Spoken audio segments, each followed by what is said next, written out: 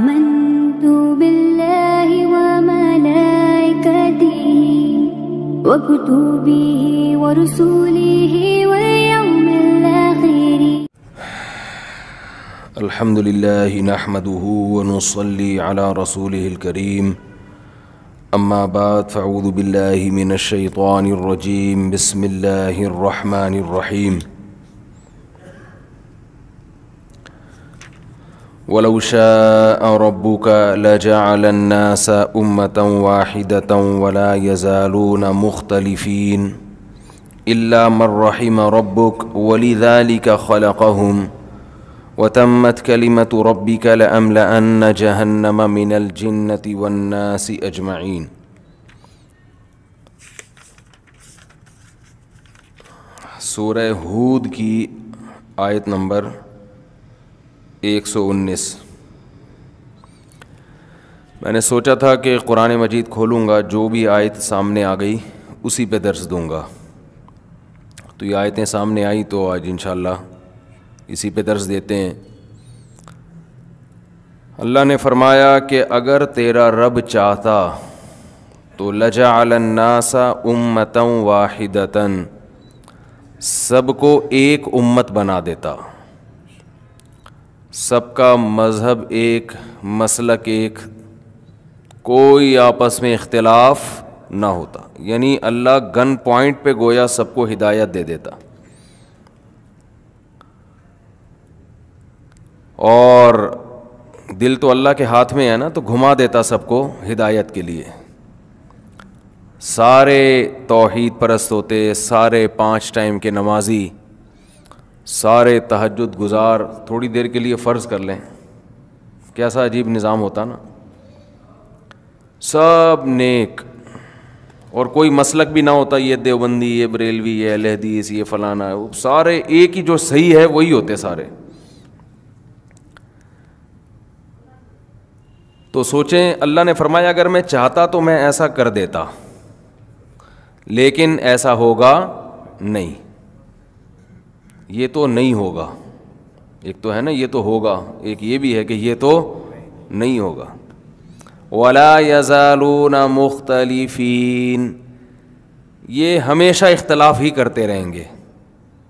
हमेशा ऐसा ही होता रहेगा कि लोगों में क्या रहेगा? इख्तिलाफ़।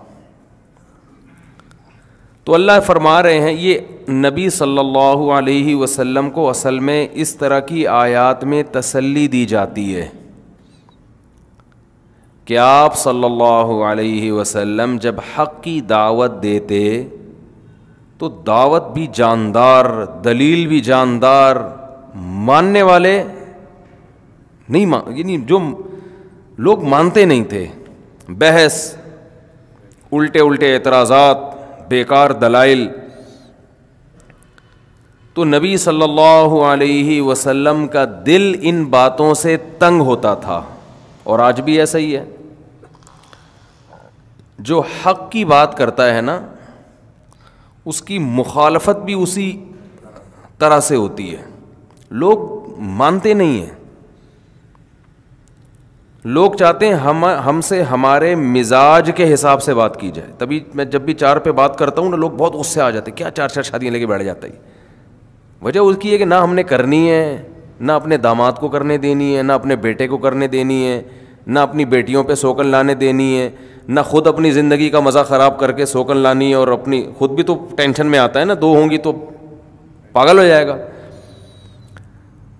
तो अब वो कहते हैं, क्या मुफ्ती साहब हर बयान में मिसालें भी यही चार शादियों की देंगे? टॉपिक नहीं भी होता तो मिसाल इनके पास यही होती है।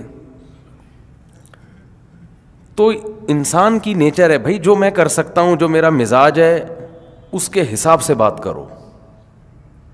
तो ये इंसानी नेचर है। जज्बाती तकरीरों में लोग मुतासर होते हैं। मिसाल के तौर पर आपका एक ख़ास किस्म का मिजाज बन चुका है नारे वाला, एकदम रोने धोने वाला। जैसे मुहर्रम में बाज़ लोग अगर उनको ना रुलाया जाए, कोई ख़तीब आके उनको ना रुलाए तो बाज़ लोगों में सब की बात नहीं कर रहा, उनका फिर ये उसूल होता है कि वो फिर ये तो ख़तीब ही नहीं है। क्योंकि मिजाज ये बन चुका है कि रोना है। समझ रहे हैं बात को? अब ख़तीब अगर नहीं रुलाएगा तो भाई तू मालूमाती प्रोग्राम पेश करके चला गया, रोना तो आया नहीं। तो वो कि, वो फिर उस ख़तीब का, को लोग नहीं पसंद करते। कि भाई मज़ा तो आया नहीं, क्योंकि वो उन्होंने एक फ़र्ज़ कर लिया, अपना एक मिजाज बना लिया है कि मुहर्रम में क्या करना है? रोना है। बाज़ लोगों ने बना लिया मिजाज, चाहे वो शिया में हो, चाहे वो सुन्नी में हो, चाहे वो किसी भी मसलक में हो। भाई रोना धोना है। तो अब वो कोई ख़तीब नहीं रुलाएगा तो पब्लिक को मज़ा नहीं आएगा। तो हम में से हर शख्स ने पहले एक मिजाज मुतन करता है, उसके बाद फिर जो कुरान की आयत उसकी तायद में हो, वो तो पेश होगी। जो हमारे कल्चर के, हमारे मिजाज के अगेंस्ट जो चीज़ आ रही है, उसको हम पसंद नहीं करते। मिसाल के तौर पर, रसूलुल्लाह सल्लल्लाहु अलैहि ने जब दावत की कि रिश्तेदारी जोड़ो, इस पे अरब ने आपकी मुखालफत नहीं की है, क्योंकि अरब का मिजाज रिश्तेदारी जोड़ने वाला ही था। वो फ़ख्र करते थे शायरी में, जब नबी ने फरमाया, सखावत करो तो यहाँ आपकी मुखालफत नहीं हुई है, क्योंकि अरब मिजाजन सखी थे। किसी कंजूस कौम में सखावत पर बयान हो तो वो तो गुस्सा करेंगे। भाई, बास कौमें कंजूसी में मशहूर हैं, आपने उन पर सखावत पे बयान कर दिया, वो कहेंगे, यार, ये मौली साहब को नहीं लाओ अगले महीने। आप किफ़ायत शारी पे बयान करेंगे, वो कहेंगे, ज़बरदस्त मौलाना साहब, ज़बरदस्त ख़ानदानी बयान किया है। मेरा ख्याल है बात समझाना थोड़ा सा मुश्किल तो नहीं है ना? भाई, आप उसमें बयान करें किफ़ायत शारी पर। कंजूसी को लेबल अच्छा लगा दें। क्या नाम दे दें कंजूसी को? किफ़ायत शारी के तमीज़ से पैसा खर्च करना है। यानी हो वो कंजूसी, लेकिन उसको आप नाम ये दें कि आज पैसा बचाएँ ताकि कल काम आए, ये पागलों की तरह उड़ाना और ये ये गरीबों पे खर्च कर देना तो खुद गरीब हो जाओगे, कल बच्चे मर जाएँगे, यतीम हो जाए ऐसे, यानी कंजूसी पे लेबल अच्छा लगा के आप उसको किफ़ायत शारी और कनात और दूर अंदेशी और प्लानिंग और इन सब अच्छे अच्छे लेवल लगा के आप बयान करेंगे तो कंजूसों में आपका बयान बहुत ज़्यादा हिट होगा।